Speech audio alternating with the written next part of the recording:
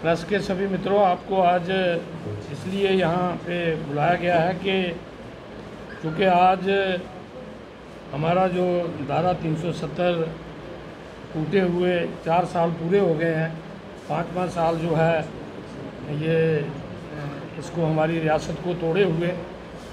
तो इससे जम्मू कश्मीर के लोगों में बहुत रोष है, बहुत इस बात का दुख है कि जो हमारा रियासत का स्पेशल स्टेटस था वो ख़त्म कर दिया गया। और जब ये स्टेटस ख़त्म किया गया तो उस वक्त कुछ बातें जो हैं, वो गवर्नमेंट ऑफ़ इंडिया ने कही थी कि शायद तीन सौ सत्तर की वजह से यहाँ के जो ओबीसी समाज है, उनको इंसाफ नहीं मिल रहा।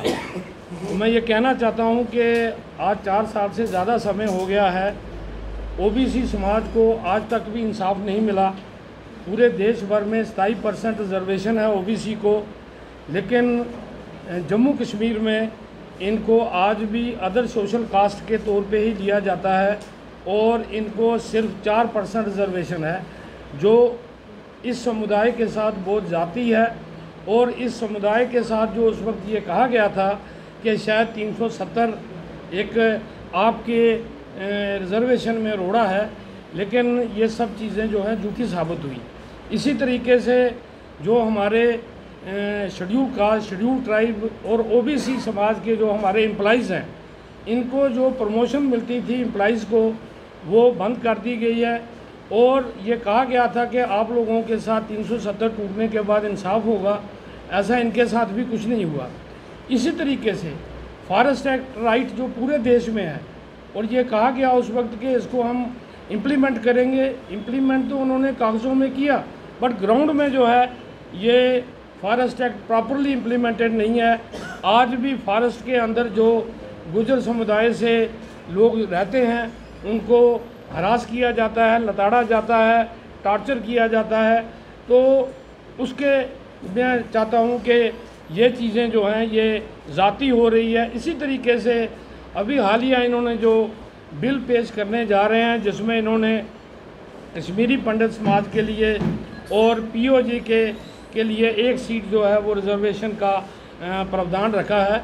मैं कहना चाहता हूँ कि सिख समाज, जो कश्मीर में भी काफ़ी संख्या में है और जम्मू खिते में भी है, उनको क्यों इस बात से पीछे रखा गया है? जाट समुदाय, जो उनकी सभी सीटें रिज़र्व कर दी गई हैं उनको क्यों रिजर्वेशन उनके लिए नहीं रखी गई है? और पंजाबी लैंग्वेज जो इस रियासत की ऑफिशियल लैंग्वेज हुआ करती थी, महाराजा रंजीत सिंह के समय से लेके, उस लैंग्वेज को भी जो है इन्होंने हटा दिया है। तो ये मैं समझता हूँ कि लोगों के साथ जो है यहाँ ज़ाती हो रही है। इसी तरीके से ये वादा किया गया था कि जब भी हालात ठीक होंगे, हम स्टेट रिस्टोर करेंगे।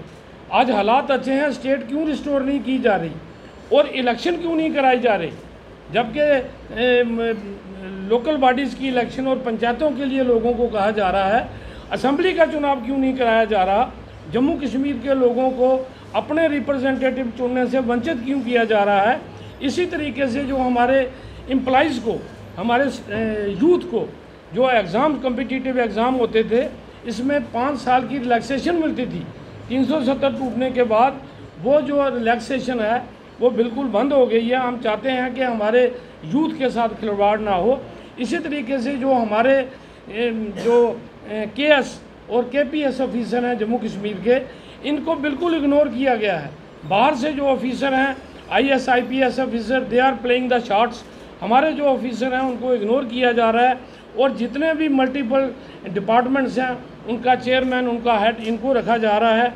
और इसी तरीके से जो अर्बन और रूरल हमारा जो बेल्ट है इसमें कोई प्रॉपर डेवलपमेंट नहीं हो हो पा रही है और हमारे जो नेचुरल रिसोर्सेज हैं वो उस उनको लूटा जा रहा है। चाहे वो माइनिंग है चाहे वो ए, हमारा ए, ये लीकर माफिया है हमारा यहाँ जो माइनिंग है इसको लूटा जा रहा है हमारा रियासत का जो सोर्स है। और इसके अलावा ये जो प्री पेड मीटर लगाए जा रहे हैं लोगों की मंशा के अगेंस्ट ज़बरदस्ती जो किया जा रहा है हम इसके ख़िलाफ़ हैं। और इन्हीं के आंकड़ों के मुताबिक 2019 से लेकर 2021 तक लगभग दस हज़ार वुमेन जो है, वो जम्मू कश्मीर से लापता है। तो मैं ये सवाल करना चाहता हूँ कि ये वुमेंस के ख़िलाफ़ एक टाइप का ऑफेंस है।